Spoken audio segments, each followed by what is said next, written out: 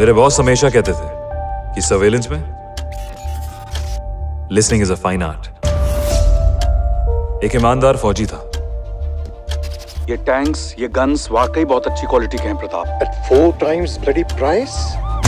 एक दिन लड़ते लड़ते बहुत दूर निकला है ऐसा भी तो नहीं कि तुम्हारी जेब से जा रहा है What's the problem, damn it? It's the bloody taxpayers' money. जब आग खुली तो पता चला कि वो चोरों की बस्ती में है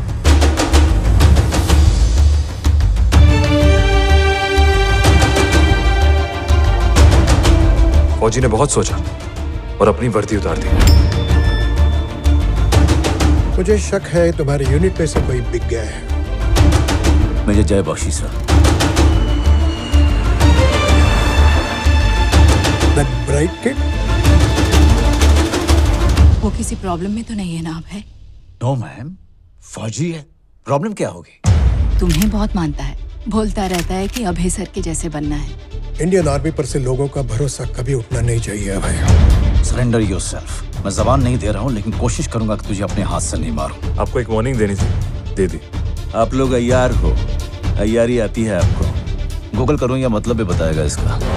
जो जब चाहे रूप बदलता है।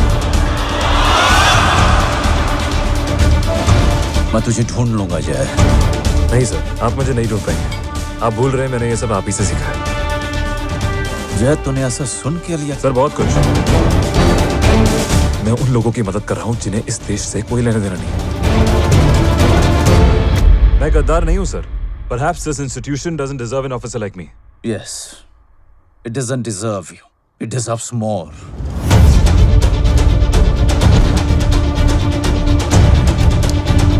मुझे पर्सनली आपसे कोई तकलीफ़ नहीं है मुझे तकलीफ़ है मेरे ही घर के आपके उन प्यादों से, जो अपना देश बेचकर आपका धंधा चला रहे हैं।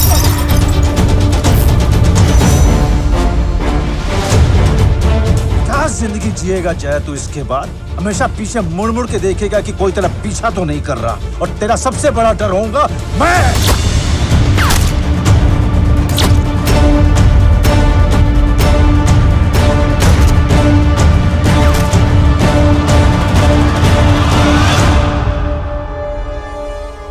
आदमी को ना उंगली नहीं करने का सब